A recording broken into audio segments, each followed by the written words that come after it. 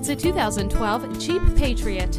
A traditional looking Jeep model, this Patriot comes with cruise control, privacy glass, a CD player with MP3 decoder, tire pressure warning, and the safety of multiple airbags, anti lock brakes, and a touring suspension. Quality and pride in a vehicle is what you get in this Patriot. Stop in today. At Rusty Wallis Honda, our primary goal is to satisfy our customers.